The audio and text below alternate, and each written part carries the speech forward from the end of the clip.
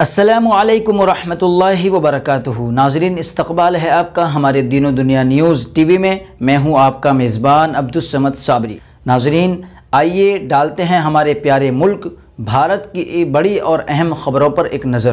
ناظرین، اس سے پہلے میں اپیل اور درخواست کروں گا کہ اگر آپ ابھی تک ہمارے چینل کے ساتھ جڑے نہیں ہیں، تو جڑ جائیں اور سبسکرائب کر لیں اور بیل آئیکن گھنٹی کو ٹچ کر دیں۔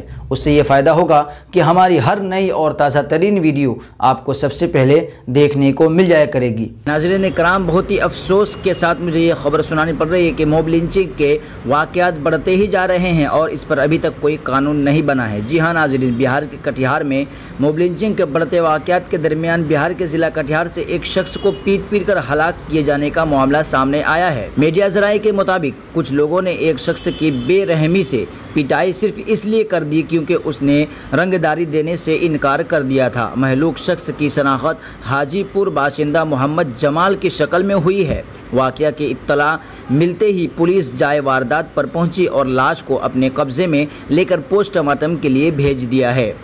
معاملہ درج کر کے پولیس نے تفتیش بھی شروع کر دی ہے۔ خبروں کے مطابق، واقعہ پیر کی دیر شام کا ہے، محمد جمال کچھ گایوں کو لے کر کمید پور جا رہا تھا۔ اس اسی دوران کچھ لوگوں نے لابھا پل کے پاس روک کر اسے رنگداری کا مطالبہ کیا۔ رنگداری نہیں دینے پر لوگوں نے جمال کے ساتھ مار پیٹ شروع کر دی۔ بری طرح سے زخمی جمال کو کچھ لوگوں نے ہیلتھ سینٹر میں داخل کرایا گیا، جہاں سے ڈاکٹروں نے اسے صدر اسپتال ریفر کر دیا۔ اس کی موت صدر اسپتال لے جانے کے دوران ہی ہو گئی۔ جمال کی موبلنجنگ سے ناراض لوگوں نے منگل کی صبح لاش کو سڑک پر رکھ کر ٹریفک جام کیا اور قصورواروں کے خلاف سخت کارروائی کرنے کا مطالبہ کیا۔ سڑک جام کی خبر ملنے کے بعد ایس ڈی اور نیرج کمار اور مفصل تھانہ انچارج اپنی پولیس ٹیم کے ساتھ وہاں پر پہنچے۔